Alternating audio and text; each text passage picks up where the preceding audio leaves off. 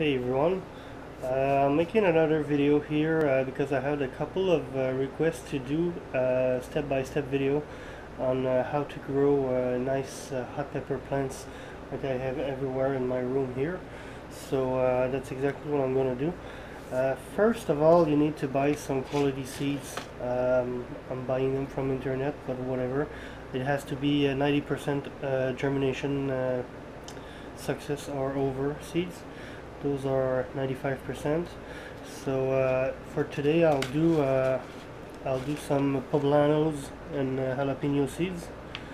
So it's really simple but re really important uh, first step is to um, soak the seeds uh, for at least 24 hours into uh, into some water.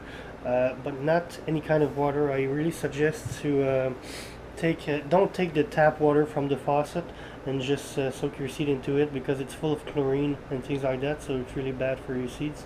So you just take the tap water and you leave it in a in a, some container or whatever. Here I'm using some uh, a pulverizer. So uh, you just uh, leave the water for at least 24 hours and it's good to go on your um, on your seeds. So it won't be uh, harsh for them with the chlorine and everything.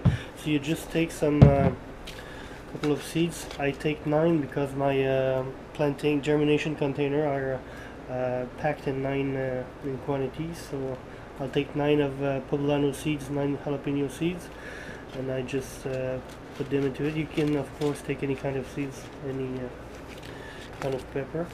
So you just put nine in each if you have nine containers like I have, and you put some your water into it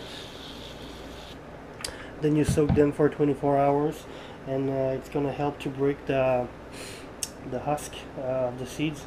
So uh, 24 hours good you can leave it 48 hours but it ha you have to be sure that it won't uh, it won't rot. So 24 is, is good. Then the day after just take your I said it's a container. I tag them so jalapeno poblanos that's the two I'm gonna show you today then it's really simple. You uh, fill with uh, good potting earth uh, soil. So uh, I had a lot of requests to, to uh, tell you what kind of uh, potting soil I use. So for all my pepper plants are buying this from Canadian Tire things like that. It's made in Canada. It's really great because they have already has so.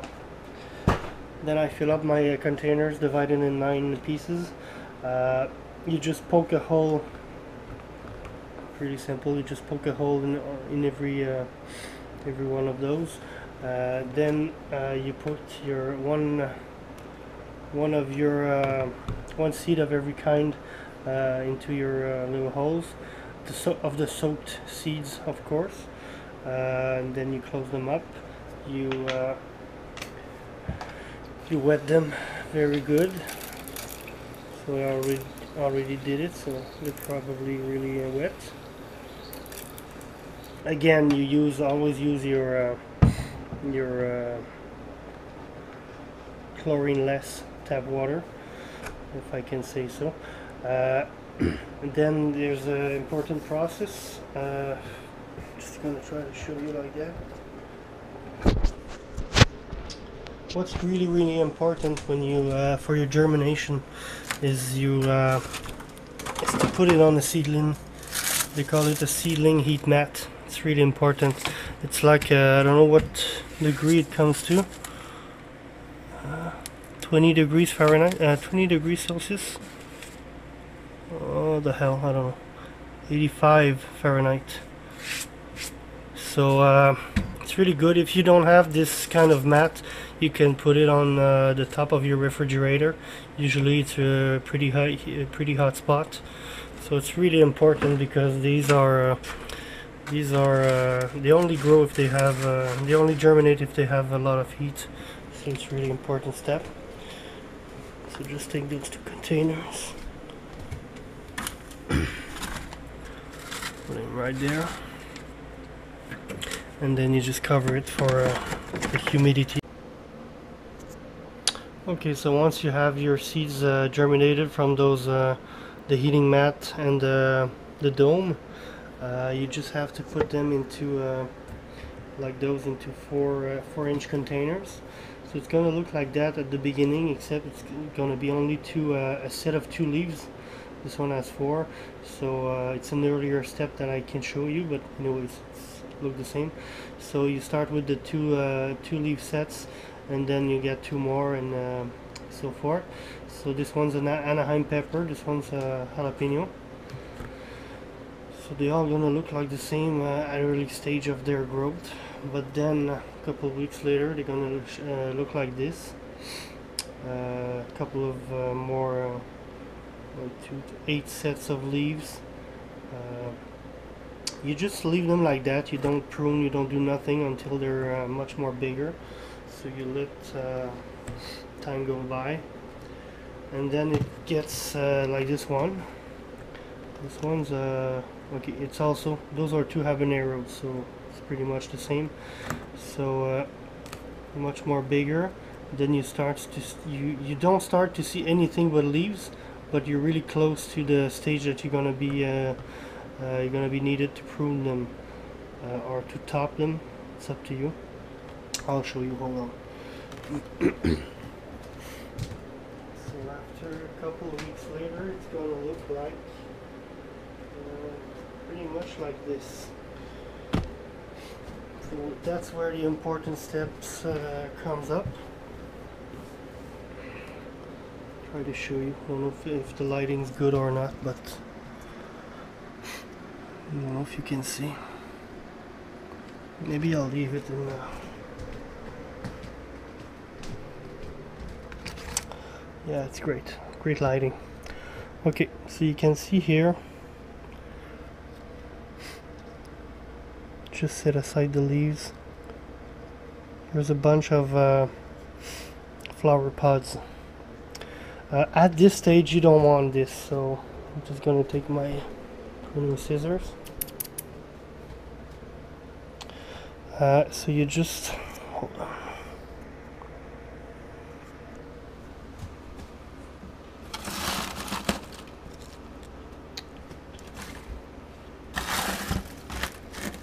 you're gonna see good. So anyways you just go there and uh, prune everything off. Hope you all can see. Just prune everything off. Okay so that's that's a great way to uh, give your plant some uh, some strength. Uh, the roots are gonna go uh, much more down. Uh, they're gonna develop you see here at every interest at every uh, every uh, branch they have uh, some new uh, shoots. So that's gonna help them a lot to grow some uh, side shoots. I'll give you an example here. This plant has been topped like uh, few weeks ago okay? So it's instead of being just tall and and weak it has all it has shooted everywhere from the branches. So it's gonna help it uh, become more wide more tough uh, bigger stem to make to uh, make it hold all those pepper all those peppers. So I continue to just chop down the just chop the flower pods. Can continue this as long as you want because it's really not helping them to uh, produce some pepper pods in, in those uh, earlier stages of uh, their life. So that's pretty way the way uh, pretty much the way I do it. It's really up to you but it helps a lot. Um, that's really what I wanted to show you. So then it's uh, really simple. It goes from uh, this one to this one to this one then it all flowers up and then it uh, produces some pods. Uh, maybe I can show you. Uh, one important thing also that I really like to, uh, to show you it's that uh, the way I'm watering them. It's really important. It's the way I do it. So you soak them from the bottom. It really helps to uh, make a much powerful root system so it has to go down and suck the water up uh, it also helps to uh, you see a little of uh, uh, moisture signs. So it really helps to uh, as long as your topsoil is not wetted uh, it helps to prevent having some some moisture and things like, it, like that. So that's pretty much about it. I'm uh, I'm pretty much near the end of the season uh, of those uh, the season. It's it's just the way I say it but it's been like six months those peppers are in my room so I just in the next month I'll pretty much just harvest the rest of the peppers and uh, let them go. I'll throw them away and start a new bunch of uh, other peppers that you see there and uh, the seeds that are germinating that I just showed you. So uh, I'm just finishing harvesting them for what it's worth. Uh, for final, just wanted you to show you a couple more, but this is a Tabasco plant, Anaheim pepper. Uh, those are Peter pepper, sorry.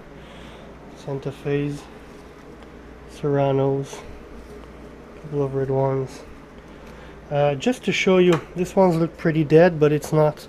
Uh, when I'm close to uh, final harvest, so this plant's gonna be harvested and then I'm gonna throw it away. I just, I don't, uh, I stop watering them for like a week or two and then it helps to uh, so every kind of foliage gonna die up but uh, it helps for the peppers they're gonna be much more hot so it really helps uh, helps uh, having much more hotter peppers. So this one's gonna be done I think this week. I'll harvest every pods on it and it's gonna be the end for him. Same thing with the habanero. I'm just waiting for this one to be really really red and then it's gonna be the end. So that's pretty much about it for the tutorial. I hope it helps a lot of you guys and if you have any much uh, more questions just feel free to ask me. Sorry I have a cold but uh, really wanted to do this video before any uh, of those plants are going much more bigger. So that's uh, step by step what I'm uh, doing to have uh, all those plants in my of course it's not outside it's in my uh, living room. So um, I think anyone can do it. So uh, have a nice day